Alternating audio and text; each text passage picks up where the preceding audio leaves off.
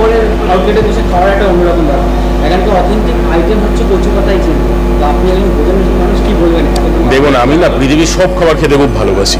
হ্যাঁ অবভিয়াসলি নিরামিষের থেকে আমিষ ডিশ বা ননভেজ ডিশ আমার একটু বেশি পছন্দ।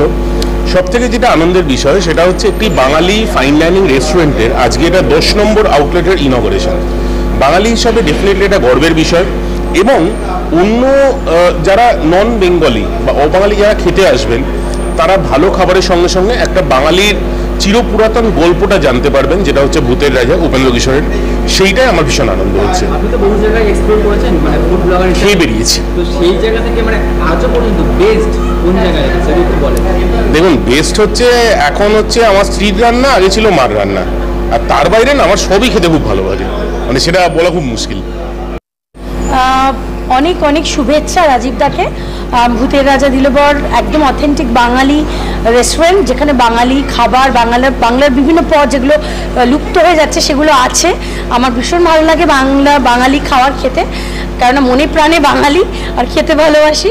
তো তাই চলে এসেছি আজকে এই দশম আউটলেটে যেটা কিনা রাজারহাট আকাঙ্ক্ষা মোড়ের কাছে। আপনাদের সবাইকে বলব প্লিজ আপনারাও আসুন এবং বাংলার রান্নার স্বাদ নিন।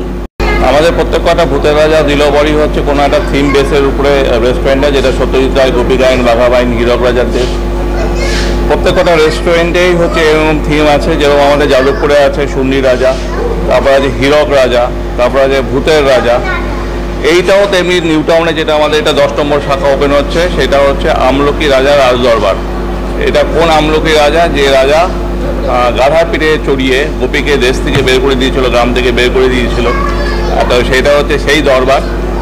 তো এখানকার বিশেষত্ব হচ্ছে আমরা অথেন্টিক বাঙালি রেস্টুরেন্ট যেটা নাকি লস্ট রেসিপির উপর আমরা কাজ করি, যেটা মা, মাসিমা, পিসিবেদার হাতে হারিয়ে যাওয়া যেটা রান্না, যেটা এখন কর্মব্যস্ততার জন্য হয়ে ওঠে না, বাড়িতে হয়তো রান্না হয় না, সেইগুলো মাথায় রেখেই কিন্তু আমরা এই ভূতের রাজা দিলবরে এই অথেন্টিক বেঙ্গলি যেটা হয়, সেটা কিন্তু আমাদের এখানে পাওয়া যায়।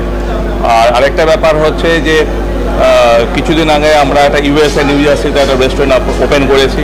আর পুজোর আগে আরেকটা হাতিবাগানে আমাদের এগারো নম্বর আউটলেট হতে চলেছে।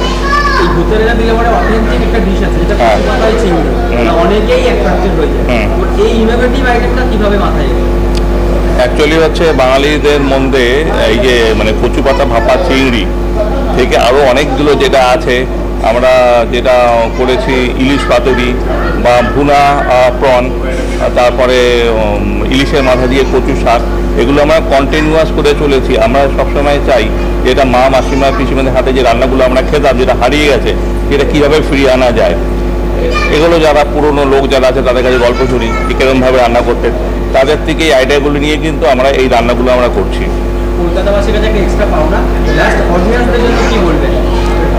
দেখুন যারা বাঙালি আনা মানে বাঙালি জিনিস খেতে পছন্দ করেন। এতদিন ধরে লোকে চাইনিজ ইন্ডিয়ান তন্দুর কন্টিনেন্টাল এগুলো খেত।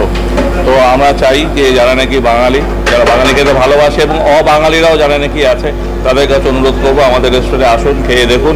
আমাদের বাঙে বাঙালি আনা খাওয়ার পর গ্যারেন্টি দিয়ে বলতে পারব আপনারা কিন্তু খুশি হবেন। দেখো এখানে আমার কখনো অন্য দেশ মনে হয় না মনে হয় পাশের দেশ পাশের বাড়ি নিজের আর একটা বাবার বাড়ি মনে হয়। তো সেই জায়গা থেকে ভালো লাগাটা খুব বেশি কাজ করে। আর সকলের এত ভালোবাসা পাই, সুতরাং সত্যি বারবার আসতে ভালো লাগে। আর আজকের আসাটা একদমই স্পেশাল কারণ ভূতের রাজা দিলবরের দশ নম্বর একটি আউটলেট ওপেন করেছে। তাদের সাকসেসের জায়গা থেকে নটা পার করে দশ নম্বরে পা দিয়েছে। তো এটা যদিও আমার হাত দিয়ে হয়েছে, আমি আমি বেশি বেশি চাইব। যারা আমার ভক্ত, দর্শক ফ্যান ফলোয়ার আছে, তাদের সকলকে আমন্ত্রণ জানাব যে এটা আকাঙ্ক্ষা মোড়, রাজারহাট, নিউ টাউনে ভূতের রাজা দিলবর খুব সুন্দর একটি প্লেস এটা হয়েছে। সুতরাং সবাই পরিবার নিয়ে এখানে এসে মজা করি। ইলিশ চিংড়ির মেলবন্ধনে খাবারগুলো খাবে। আর এখানে আসলে স্পেশালিটিটা আমার মনে হয় যারা আসবে, তারা দেখতে পারবে, তাদের আতিথ্যতা একদমই অন্যরকম। Thank you